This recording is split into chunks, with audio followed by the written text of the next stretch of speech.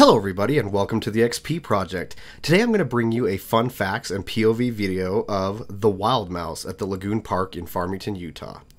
This steel chain lift coaster was built on April 10th, 1998, and is a staple ride here at the Lagoon Park. This coaster is a 49 foot tall, 1 minute 10 second ride that goes 28 miles per hour in a bunch of different directions. It can ride 900 rides per hour, making this a very friendly queue on busy days. This coaster is actually not the original Wild Mouse. That coaster was brought to Lagoon from the Seattle's World's Fair back in 1965 and was retired in 1971. Then the second Wild Mouse, called the New Wild Mouse, ran until 1989 when it was also retired.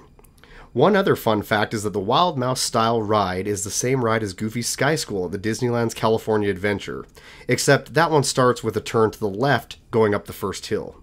This is a great starter coaster for the little ones to get them used to the drops. So join us now for a POV of this great coaster.